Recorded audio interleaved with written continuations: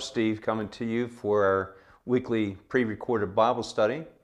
Again, I'm Father Steve, the vicar of St. Andrew's Episcopal Church, which is located at 22 Cumberland Street in Clear Spring, Maryland, and also I'm the interim rector at St. Thomas Episcopal Parish at 2 East High Street in Hancock, Maryland.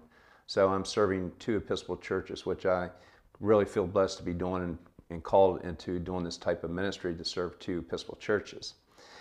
Uh, our Bible study uh, for today, our pre-recorded Bible study, we're studying uh, Epiphany 5, the fifth Sunday after Epiphany. And the readings uh, for the fifth Sunday after Epiphany will be on Sunday, uh, February the 5th, 2023. Now, the readings for uh, Epiphany 5 are Isaiah 58, 1 through 12, if you want to write these down.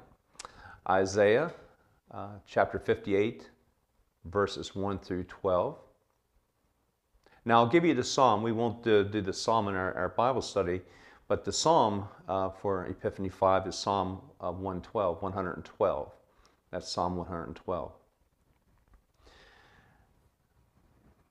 Then we move on to our um, New Testament um, epistle, uh, Paul's first letter to Corinthians. So it's 1 Corinthians, 1 Corinthians chapter 2, verses 1 through 16. That's 1 Corinthians chapter 2, verses 1 through 16. And then our gospel uh, will be the Gospel of Matthew, chapter 5, verses 13 through 20. That's the Gospel of Matthew, chapter 5, verses 13 through 20. So again, the way this works, uh, this is the pre-recorded uh, Bible study at St. Andrews. Uh, actually, I'm in the recording studio at St. Andrews Episcopal Church in Clear Spring. Uh, our in-person Bible study uh, we have on Fridays. That's at 11 a.m. Uh, in person on Fridays at 11 a.m. and that's preceded by the Office of Morning Prayer inside the church at St. Andrews at 10 a.m. So, um, and again, if this is your first time or if you need a refresher, how you can do this uh, pre-recorded Bible study uh, if you want it with a group or, or individual. Um, I will pause a little bit and the way you do that is hit that little um, upside down equal sign or as one of our elementary school teachers here tells her kindergarten kids, pre-kindergarten, uh, um, hit the number 11 and that will pause it and then once you process um, or do the Bible study or whatever the question is, then you can hit the arrow and move on to uh, the next question. So anyway, so we're going to look at um, Isaiah uh, 58, 1 through 12, 1 Corinthians chapter 2, verses 1 through 16, and Matthew chapter 5, verses 13 through 20. So just a little bit of background about what we're talking about. In Isaiah, the background in these verses that we're going to look at Isaiah, God explained that he did not want fasting. Now, I say this uh, with tongue in cheek because one of the requirements of in, in Episcopal tradition, Anglican tradition, we do fast. And what are the two major fasting days? Well, Ash Wednesday and Good Friday. But you'll understand a little bit more what we mean by um, not fasting, but it's the way they were doing it. So, anyway, so in these verses from Isaiah, God explained that He did not want fasting, He wanted kindness and justice. Kindness and justice. God considered fasting that He observed to be ineffective, hypocritical, and self serving.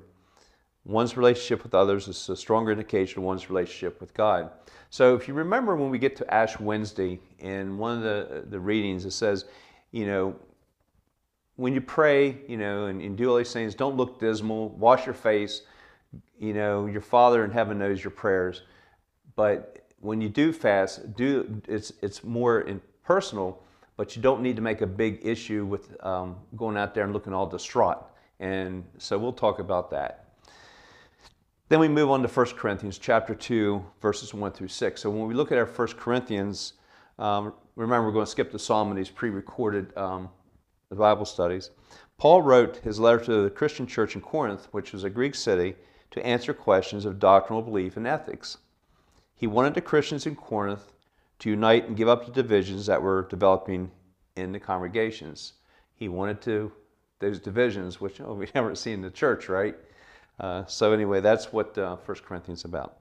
So then we get into Matthew chapter 5, verses 13 through 20, which we'll look at. So these verses are part of the Sermon on the Mount that Jesus presented right after he described the Beatitudes. which we had last week, Matthew 5 3 through 12. That was our, remember that, our gospel last week? So Jesus gave advice on Christian conduct. In addition, Jesus claimed that he came to fulfill the law and the prophets, not to abolish them. Okay? So that's a little bit of background on our readings. So, what we're going to do, we're going to look at um, a few of these questions. And remember, I'll throw these questions out to you and I will pause. Uh, so it gives you a chance to hit that upside down equal sign or that number 11, and then you can move on with your, um, after you had a chance to either write the questions down. If you're in a group, individual, had a chance to, to look it up, think about the questions, then to move on. So we're going to take a look at Isaiah chapter 58, verses 1 through 12. Okay? All right. So the first question from Isaiah What did God find annoying about the house of Jacob? Excuse me, and that's Isaiah 58, verses 1 through 12. What did God find annoying about the house of Jacob? And that's from Isaiah 58, verses 1 through 2.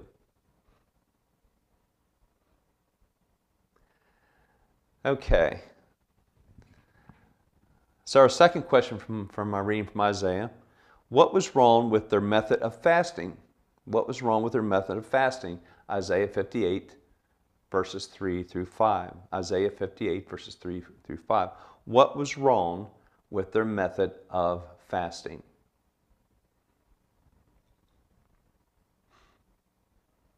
Okay. Moving on to the third question from our reading from Isaiah. What did God tell his people regarding the purpose of fasting? What did God tell his people regarding the purpose of fasting? What was the reason for their fasting?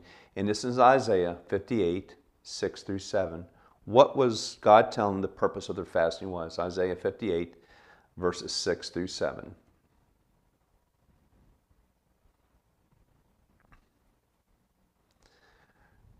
Okay, our fourth question from Isaiah. We have five of them total. Our fourth question from Isaiah What are the results of thoughtful fasting? What are the results of thoughtful fasting? That's from Isaiah 58, chapter, uh, verses 8 through 12. What are the thoughts, results? What are the results of thoughtful fasting? And we see that in Isaiah 58, verses 8 through 12.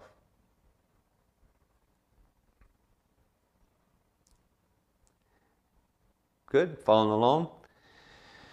Okay, and this is what I just mentioned about fasting we see in the Book of Common Prayer. So, our, our fifth question from Isaiah Where do we hear about fasting besides the requirement for Ash Wednesday and Good Friday? Now, you see these requirements in the Book of Common Prayer, page 17. So, my question is Where do we hear about fasting besides the requirement for Ash Wednesday and Good Friday? And that uh, there's, you see these requirements in the Book of Common Prayer, page 17. So the question to help you with that is to look at one of the pointed readings for Ash Wednesday from the Book of Common Prayer. Look at one of the pointed readings, and you can go to page 264 to find this answer. Look at one of the pointed readings for Ash Wednesday from the Book of Common Prayer, our service for Ash Wednesday, page 264, which talks about fasting. And you'll see that in Matthew chapter 6, 1 through 6, and verses 16 through 21. Remember, this is our reading uh, on Ash Wednesday. So um, look at this, look at the requirement in the Episcopal and Anglican tradition where we require to fast. Remember, two fasting days, Ash Wednesday and Good Friday. And then refresher is to look at the service of Ash Wednesday from the Book of Common Prayer, page 264, and look at Matthew chapter 6, verses 1 through 6, and six, verses 16 to 21. Okay? Got that? Moving along? Okay, so now what we're going to do, we're going to go to the questions from Paul's letter to 1 Corinthians. So we're going to look at 1 Corinthians chapter 2, verses 1 through 16. That's our uh, reading for Epiphany 5. So we're going to look at 1 Corinthians chapter 2, verses 1 through 16. Okay? Now, the first question from 1 Corinthians when, Paul, when Paul first came to Corinth, what technique did, technique that he used to communicate with the new Christians?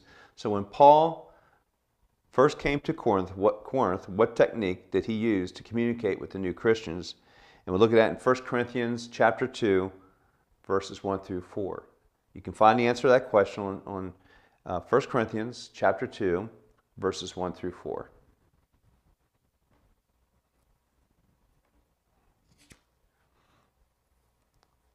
Okay, we doing okay? Our second question from 1 Corinthians. What was Paul's reason for using this technique?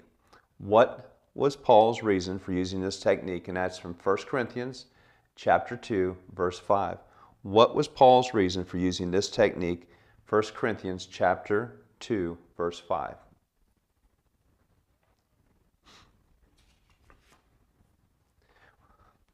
We doing good? We follow along, knowing how to hit that uh, up down equal sign or that number 11 and that arrow to move on? Okay. So now we're going to come to question 3 from 1 Corinthians. What did Paul teach regarding wisdom? What did Paul teach regarding wisdom? And that's from 1 Corinthians chapter 2 verses 6 through 8. What did Paul teach regarding wisdom? 1 Corinthians chapter 2 verses 6 through 8.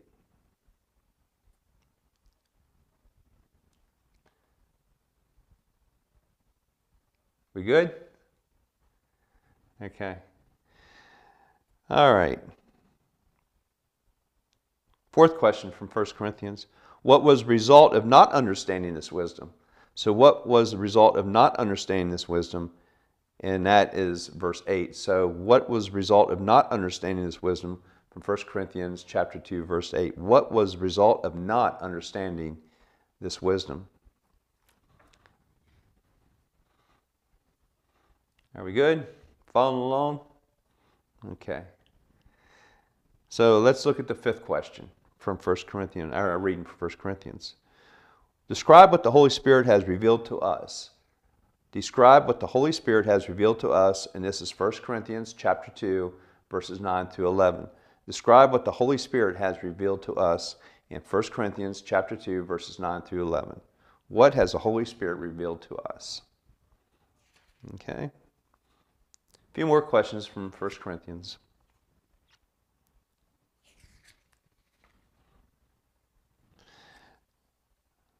Okay, our sixth question. What happens to us when we receive God's Spirit? What happens to us when we receive God's Spirit? And that's in 1 Corinthians chapter 2, verses 12 to 16. What happens to us when we receive God's Spirit? And that's 1 Corinthians chapter 2, verses 12 through 16. What happens to us?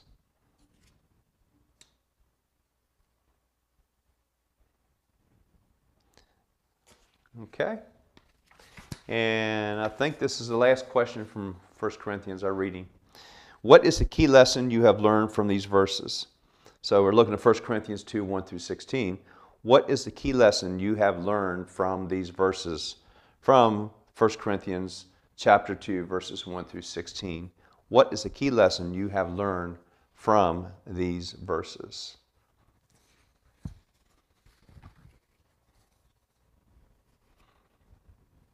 Okay. So now we're going to go into Matthew. We have four questions. Only four questions from the Gospel of Matthew. In Matthew chapter 5, verses 13 through 20. The first question what does the lesson of salt teach you from Matthew 5:13? What does the lesson of salt teach you? And that's from Matthew um, chapter 5, verse 13. We good? All right, everybody following along there? Okay. Second question for Matthew. How can you apply Jesus' teachings about light. How can you apply Jesus' teachings about light? And that's in Matthew chapter 5, verses 14 to 16. How can you apply Jesus' teachings about light?